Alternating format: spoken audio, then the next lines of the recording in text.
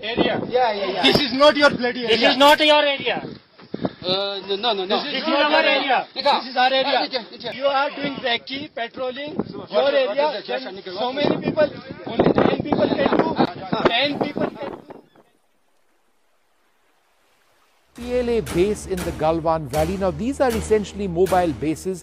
This is where the Chinese soldiers were actually staying about two kilometers away from the line of And battle. today exclusive, we have exclusively accessed the first satellite images of Chinese intrusion in Galwan River area of Ladakh. These satellites now- Bulldozer activity resulted in the construction of a culvert. Why? Because there is very heavy road building activity by the Chinese leading right up to the line of actual control. And 12 kilometers away from the Chinese side of the line of control, just about, is a Chinese tank and artillery position. अब आपको इस वक्त की एक बड़ी खबर बता दें भारत चीन बॉर्डर से खबर है भारतीय वायुसेना के अपाचे और मिग 29 लड़ाकू विमान यहाँ पर लैंड करते हुए नज़र आए हैं। ये फॉरवर्ड एयरबेस एलएसी के बिल्कुल करीब मौजूद है। तनाव के बीच भारत की एयरफोर्स कितनी मुस्तैद है किस तरीके से तैयार है? है फ़िलहाल राफेल का हिमालय प्रदेश की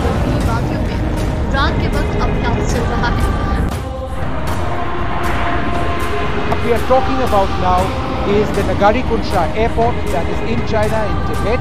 It's about 200 kilometers from the Pangong Lake. that there has been no de-induction of Chinese troops from what India believes to be its territory, despite the sweet diplomatic talk by Beijing.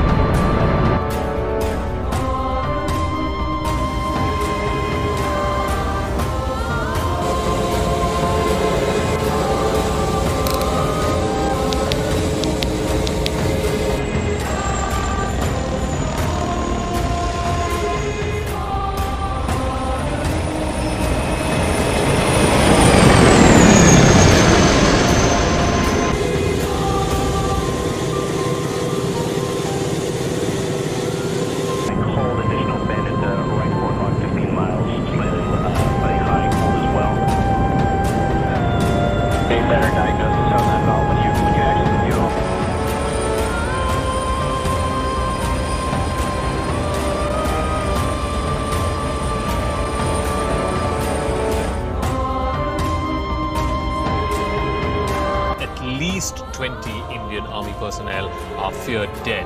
Uh, they're also reporting, again quoting uh, top government sources, that there were casualties on the other side as well, uh, both deaths as well as injuries, upwards of 40 on the Chinese side.